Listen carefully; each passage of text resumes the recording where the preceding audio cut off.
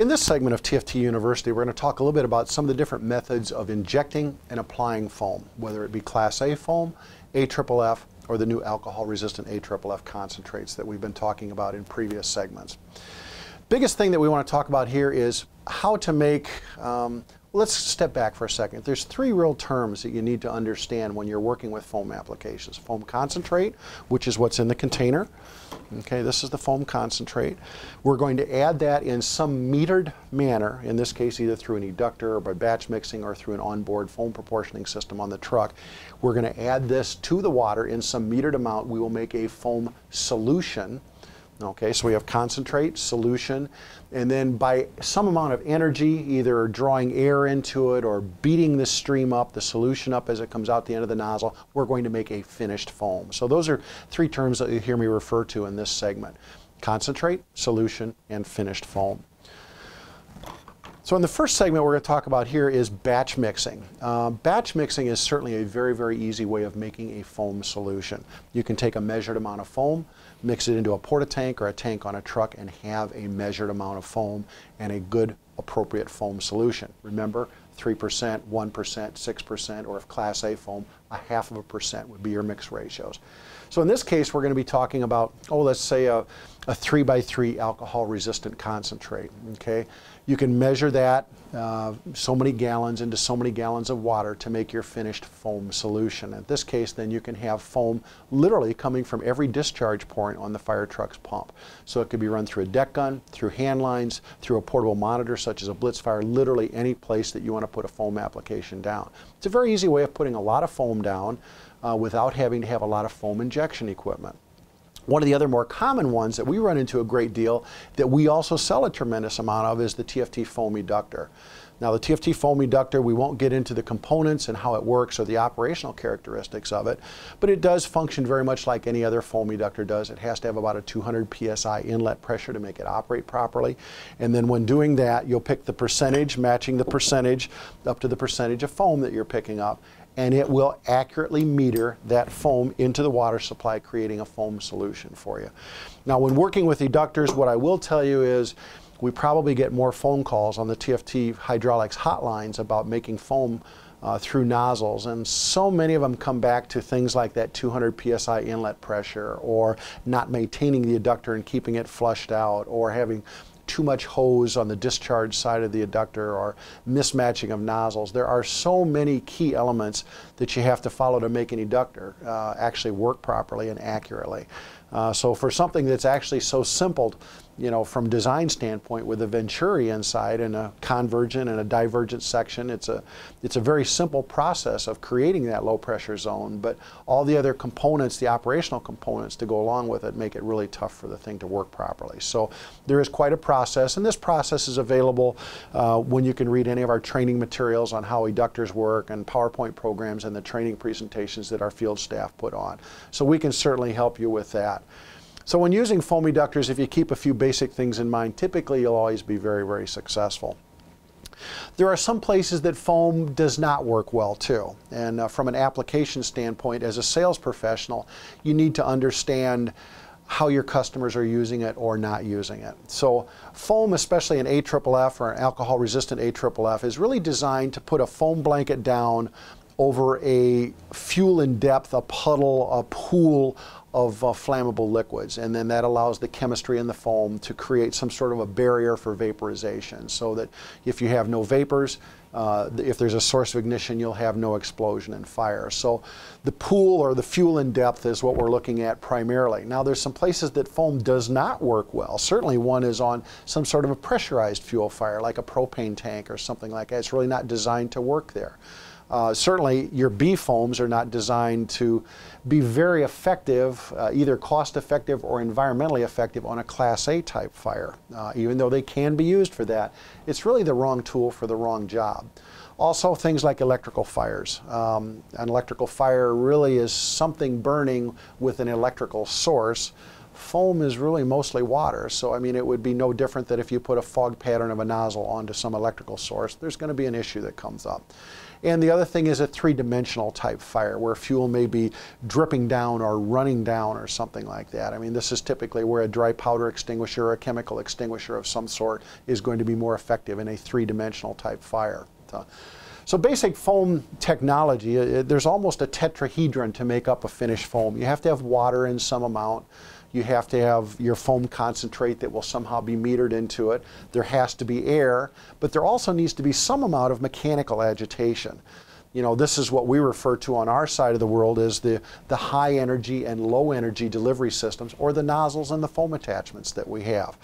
Uh, so many of you are familiar with a lot of our products, which we'll get into in other segments of TFT University. But the foam eductor, of course, is at the core, in many cases, of making the appropriate solution. One of the tools I use a lot for training, especially on foam applications, is the TFT Pro Pack. And I know a lot of you are familiar with the Pro Pack. I'm not going to get into the nuances of it right now, but like we talked about the, uh, the eductor just previously, there is actually an eductor built in here that operates very much the same way our larger eductor does. Here's a proportioning knob on top, and it's doing basically the same function that the eductor does, or if you were to batch mix properly or use an onboard foam proportioning system. It's doing basically the same thing, but in a very scaled down. And this is what's nice about the Pro Pack. You can teach everything you need to teach for the entire TFT product line pretty much just in the components of the Pro Pack here.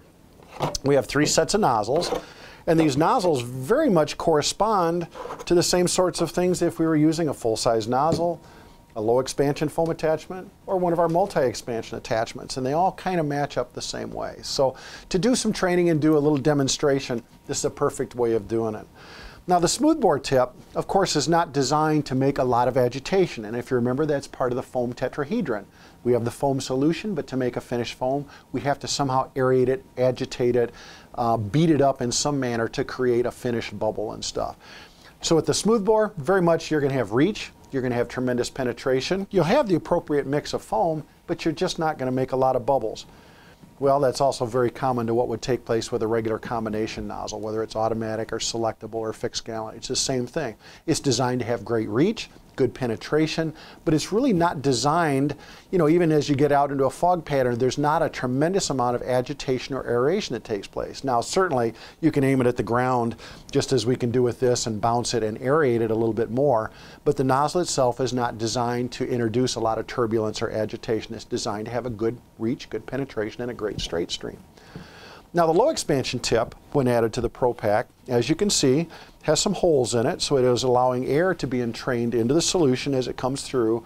And of course, with the tube here, there's a tremendous amount more of, of bouncing around and agitation and aeration that's going to take place. So very much like this tube is designed, this is virtually the same thing that you would have with a low expansion foam attachment that would just go on the end of the nozzle here. The, the performance that you see, the style, the quality of foam and the reach, it's very, very typical of exactly the same thing. So as you can imagine, you're not going to have the reach and penetration that you would have with just the straight stream, but at the same time, you're going to have a lot more aeration of foam. So while you give up some reach and penetration, you'll have the ability to kick up the expansion. Much wetter, uh, a little bit thicker foam. Uh, we often will use the term expansion ratio. The expansion ratio is kicked up. We have many more bubbles. We're aerating a lot more air into it. So the same goes here. Now we have, you notice there's a lot more screen. There's a lot more things inside to, to agitate, to aerate, to create turbulence, to create restriction, to allow air to be drawn into the stream. So as you can imagine here with this type tip, or in the case here of the multi-expansion tip that would be attached to the end of any nozzle, again, you can see the screening inside. There's a lot of stuff to really beat it up, tremendous opening to add air into it. So in this case, just like with our MX attachments here, the medium expansion attachment here, you're going to give up a tremendous amount of reach and penetration, but what you will gain is a tremendous amount of bubble creation. So while your reach may only be three or four feet, your expansion ratio, maybe two to one here, four or five to one here, may jump up to 20 to one here. So you're going to have a tremendous amount of bubbles being created. So really the same concept that we use with the ProPack in teaching and showing how the foam is being made, you can translate exactly the same thing here to working with the nozzles. So again, any nozzle, whether it be a fixed, selectable, um, or an automatic, they operate pretty much the same way where you're going to have reach and penetration. The low expansion tip, you'll keep some reach, a little bit of penetration, but you're going to make a lot more bubbles. And the multi-expansion tip, again, you'll lose a lot of that reach, but you're going to make huge, huge volumes of bubbles. Now, one of the terms that you'll hear us use in future sessions with TFT University is multi-expansion.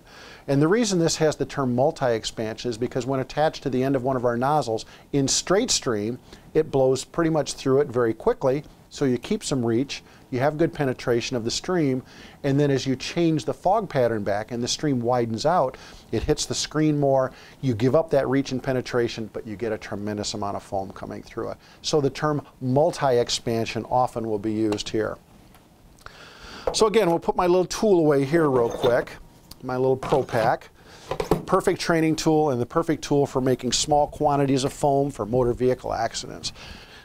Some of the other little tricks and tools that we have in our foam application arsenal include also the bubble cup, which you remember.